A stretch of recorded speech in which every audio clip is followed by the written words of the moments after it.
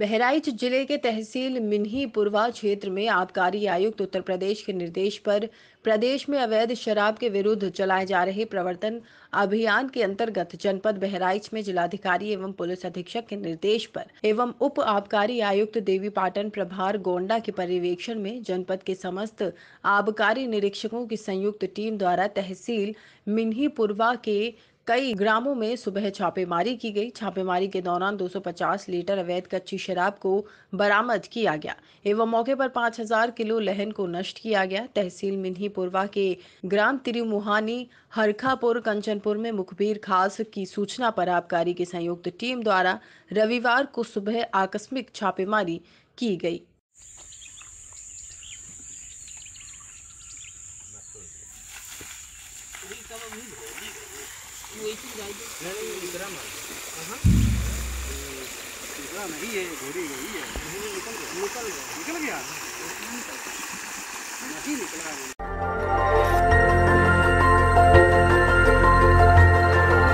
देखते रहिए डीवी भारती समाचार।